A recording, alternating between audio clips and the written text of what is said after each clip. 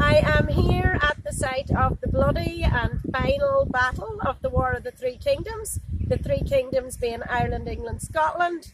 This was the scene of the Battle of Scarrifholis in 1650, just two and a half kilometres from Letterkenny. Castle Solis once stood here behind me. It was an O'Donnell stronghold. He guarded the valley from here in what was a 40 foot by 40 foot tower house. The Ulster Army under Bishop Heber McMahon fought against Cromwell's army under Coote. There was 5,000 Ulster soldiers against 3,000 parliamentarians. The Ulster army had no cavalry and were well placed on the hill, but came down from their defensive position to their demise. A thousand escaped, but were caught and slaughtered over Carrick Mountain, Meenaroy and Welshtown. The elite of the Ulster army and the most effective of their troops were wiped out.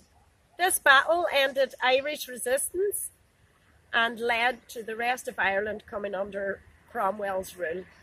Many of our surrounding townlands take their names from this battle. Thank you for watching and if you would like to see more upcoming videos then please click subscribe.